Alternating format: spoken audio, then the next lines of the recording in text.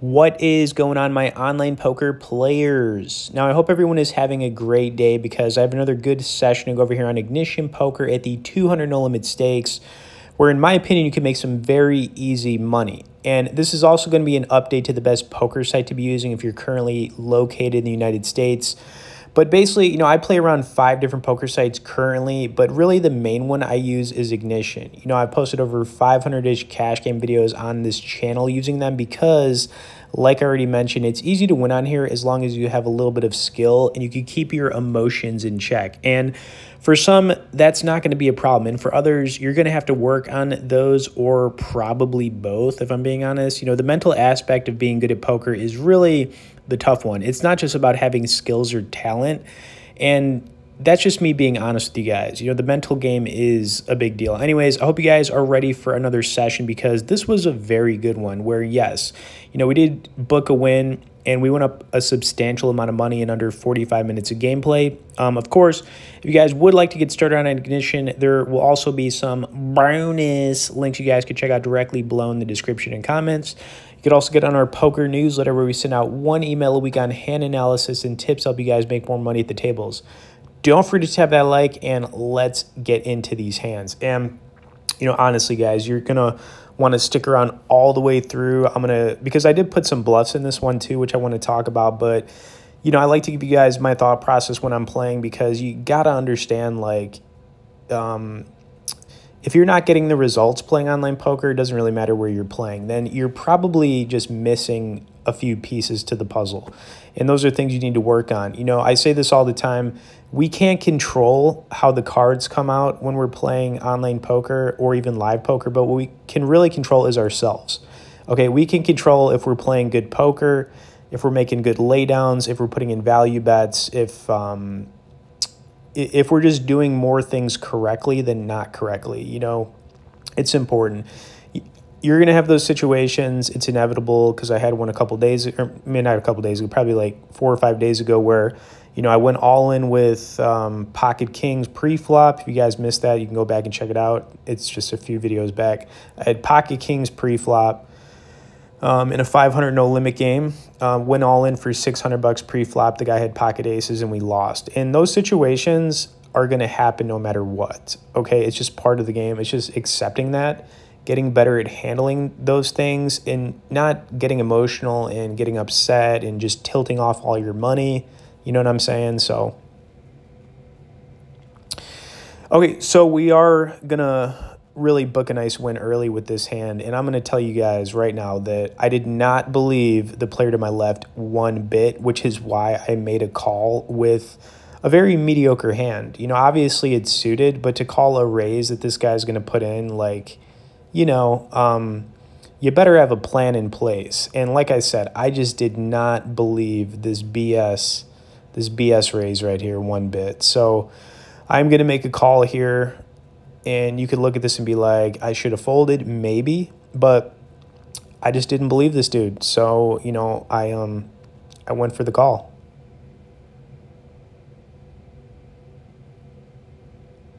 Now, player two is going to fold. I don't really think about it too much here and we got to figure what's this guy representing. There are a few things he could have, right? Pocket aces, pocket kings, pocket queens, a lot less likely because I have a queen. He could have ace king, um, ace queen less likely because we have a queen. And really, to me, guys, what is this guy representing here? It just, to me, for whatever reason, and I've played so many hands of online poker, I just did not believe this guy at all. Okay, I didn't. So I'm not putting him on aces or kings, right? I'm putting him on, I don't know, like something ridiculous, maybe like a like a 9-10 suited, maybe like a jack 10 something like that. I'm just not a believer of what this guy is selling. So when you put in a bet here, I came over the top on him basically because I'm only making this play because I don't believe him. Let's say worst case scenario, he's got pocket aces or pocket kings. We're not necessarily drawing dead either. We, we still have some possibilities here, obviously, but um, if he did have pocket aces or kings, we would have cracked him with the with the queen seven. Um, but he turned over pocket nines, pocket nines, guys. Um, why is he raising to 30 bucks anyways with pocket nines? He could have easily just called right there. It just makes absolutely no sense. The sizing doesn't make sense. And when something doesn't really add up, you know, and you're thinking it doesn't add up, then you got to go with your gut. Now, going with your gut and instincts, playing online poker can actually help you out a lot. Um, you know, there are obvi- obviously tells to playing online poker. You know, fast betting is one. Um, which is usually a sign of bluffing if somebody's like you know fast betting they don't have anything when somebody takes a long time and has like the time bank running that's usually a sign that you're probably beat And you just want to get away from that hand because the person's trying to figure out how much money they can make off of you in a certain situation. But you know moral of the story is with that hand i had right there with the queen seven i just did not believe that guy one freaking bit okay? And that's why i made the play. And uh, you could look at that and say that that was ridiculous, but like I said, man, my radar was going off that that guy was full of crap. He had a pocket pair, I'll give him that, but really to raise to to thirty dollars, you know, from eight dollars, it just makes absolutely no sense. It, it really doesn't, guys. Anyways, um, continue sticking around though because we do have a little bit of up and down going forward in this session, but still, there's going to be some really good bluffs I'm going to be putting in here. Um, we're still going to go up, you know, over $500, so we still got some more situations I want to talk about. And um, yeah, I mean, tap the like. Just tap that like for that for that win right there. Just me, kind of like booking that win, um, and really just going with my instincts, man. Because you got to do that sometimes.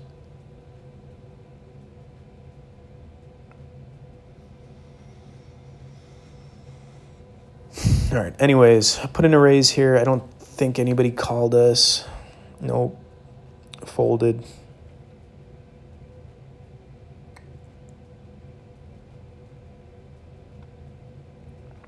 Now, at this point, you know, when you get like a double up playing online poker, you could obviously quit for the day if you want, or you could take like a little bit of a break because, you know, the reality is you're going to go up and down a little bit. It's not like it's a straight trajectory. It's not like you're just going to get a triple up right away. You know, you're going to go down a little bit, you're going to go back up a little bit.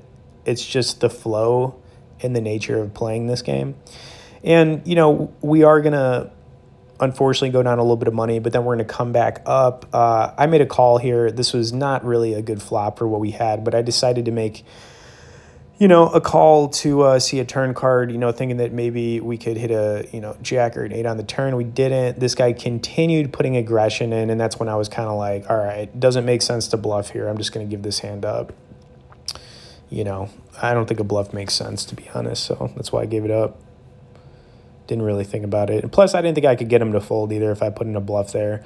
You know, sometimes, guys, when you, when you, when your story doesn't make sense or you think you can't get somebody off of a hand, it's just better to fold and take the loss instead of like losing a bunch of money trying to tell a story that doesn't make sense. You know, people aren't stupid, you know, for the most part. I mean, some players are, but yeah, the majority of people, uh, if you're going to tell a story when you're playing a hand, then you got to kind of just stick with it. And, you know, with that one, it would, it just, yeah, it was just better to fold it, especially with the aggression on the turn.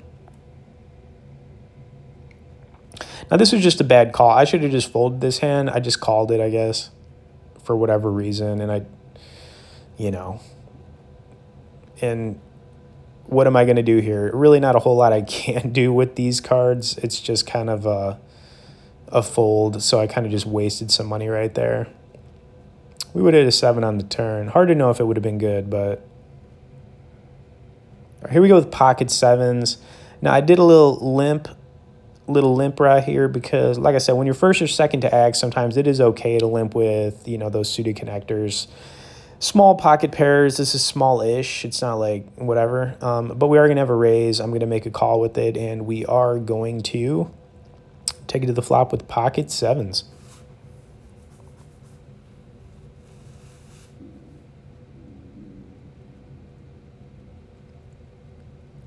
And what's interesting is this guy raised seven dollars, and I figured because he raised seven, maybe we'll hit a seven when we call with sevens. Okay. We did not. Uh, not a terrible flop though, because you know, um, if he's got a couple overcards, you know, he's. Uh, I mean, he's probably going to put a continuation bet no matter what. So we're calling. looking for a low card. We didn't get it. Really don't like to see the jack, but he checked, so we'll take a check. River card was another bad one, so a lot of hands got there. Really, any ace X, king queen. Um, we ended up checking it over, which I think was the right play. I don't know if he would have called us. I, I would have had to have put in a pretty big bet. Um, and maybe he folds. I don't know, but I think checking right there is probably pretty pretty standard, just based on um, he could call us with a lot of second pairs. If he had a pair of jacks, it's possible too. So whatever. Now this was a, a spicy one for you guys. Now we got the big five deuce suited of hearts in the big blind. Gotta love it.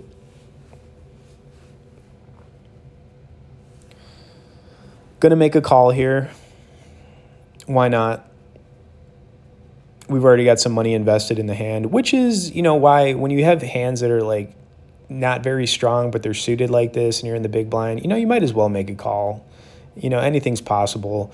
Anyways, we did pair the deuce. Uh, we have runner runner cards for flushes still, um, two pairs, three of a kinds, things like that. But I'm not going to fold here.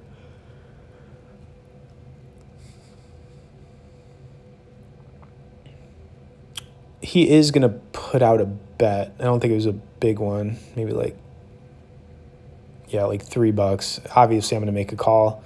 All right, turn card was a 10. Not a good card for us. Um, but, but I had some, I had some thoughts on this one. So he's going to put in a bet here. He bet pretty fast, $12. So what I did, which is what I don't think he was expecting, is I went for a raise. So I kicked this up to like $36, really applying pr the pressure. A couple things I could represent here. Two pairs, eight, nine, flush draw. Those are the hands that I am basically trying to represent. Um, to me, he's got a pair of jacks here, maybe a pair of tens. Um, that's all I could see, right? So I'm thinking he's got a pair of jacks, maybe a pair of tens. Uh, I'm hoping he folds here just so I could take down the hand.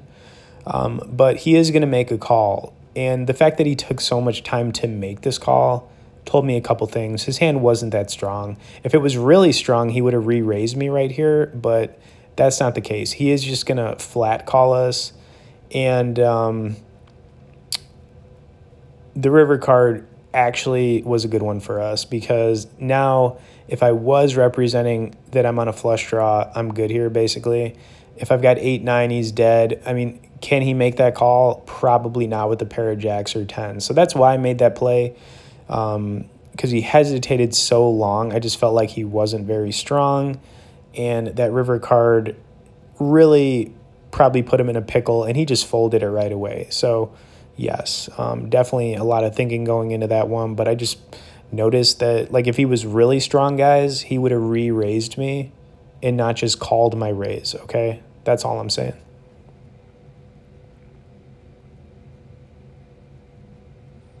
Okay now we've got pocket sixes another small pocket pair. Um put in a raise though. And we are going to get three bet but you know there's no way i'm going to fold sixes so we are going to we're going to make a call with it. But yeah, the problem with raising with, you know, small pocket pairs like this is getting three bet and then you're, you know, dealing with situations where you're investing a decent chunk of money into a hand and it's like you have a small pocket pair. That's why when you're like first or second to act, limping is okay in my opinion. It also depends on the table if everybody's being like super aggressive or not. Okay, anyways, uh, not what we wanted to see. And honestly, guys, this is a check fold. I, I can't continue with it. You know, ace queen is good. Po- if he's got like a pocket pair like jacks or tens, we're way behind, and uh, we're not. It just we're not being a whole lot, especially in the three bet. So I just folded it.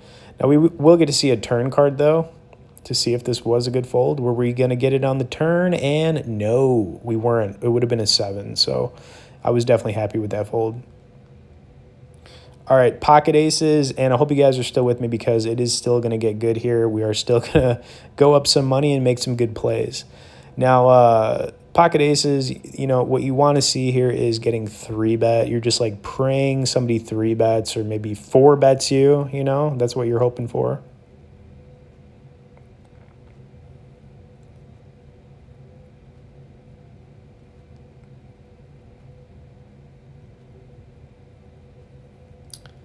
All right, player two made the call.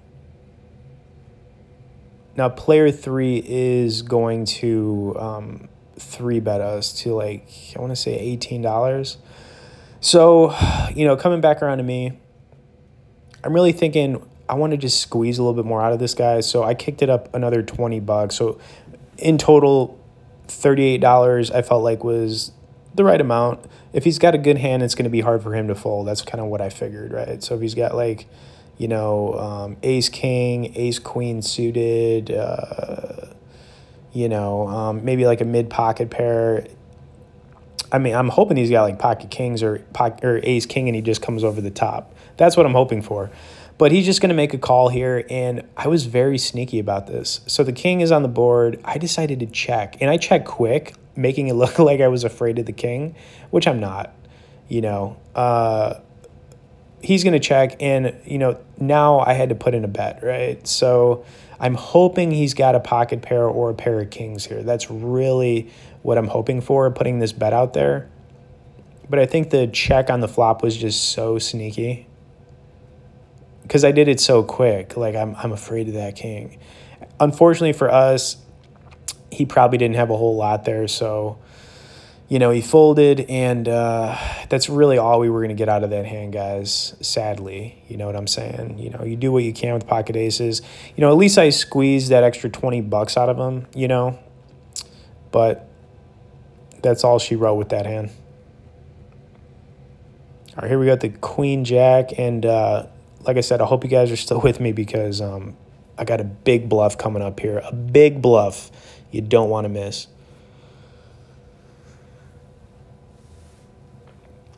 All right, I just called here um, looking for like a 10 or a jack or a queen. We hit the queen, um, and I got a little sneaky here. I checked it. River was a 7. He's going to put in a small bet, maybe like 5 bucks or something. Not even. I uh, I raised this you know, hoping that he'd think I'm bluffing here and would just make a call. I mean, we're really not losing a whole lot here. I figured he might just call if he's got a pair of nines or sevens. He called, squeezed a little bit out of that guy, and uh, I like that one a lot. All right, so, you know, even though doing good in this session, you know, up a couple hundred or whatever, really the hand that I loved the most was this one right here. And ace king, honestly, guys, it can be tricky. You know, you could lose a lot of money with it, especially when it's not suited. I say that all the time because it's true. But, you know, I just, uh, if there was one play out of this entire session that I made, this was probably my favorite. You know, that's all I'm saying.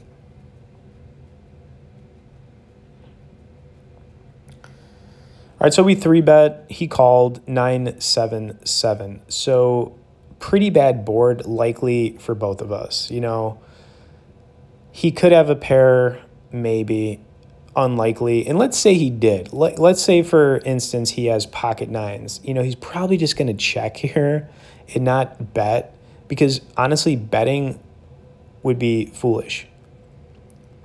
He bet pretty big. Turn card was a six. The fact that he was leading out on a board like this, to me, it just made absolutely no sense. Because if he's got a pocket pair like nines or something, you know, he isn't going to be taking this line. And he's going to bet like $57. This looks like a bluff all the way, all the way, guys. I'm not buying it. But I had to let the, the time kind of run down on this so I could at least think about it a little bit, which is exactly what I did. And I think some of this this play might shock some of you, but for others, maybe you're thinking what I'm thinking here. I'm just not buying it. I'm not buying it at all.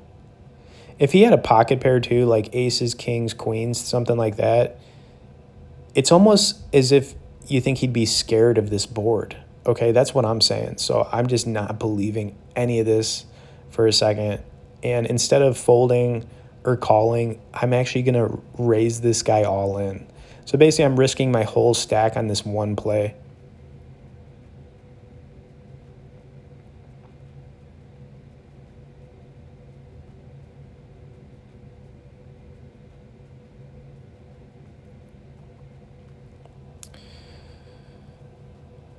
And what does he do?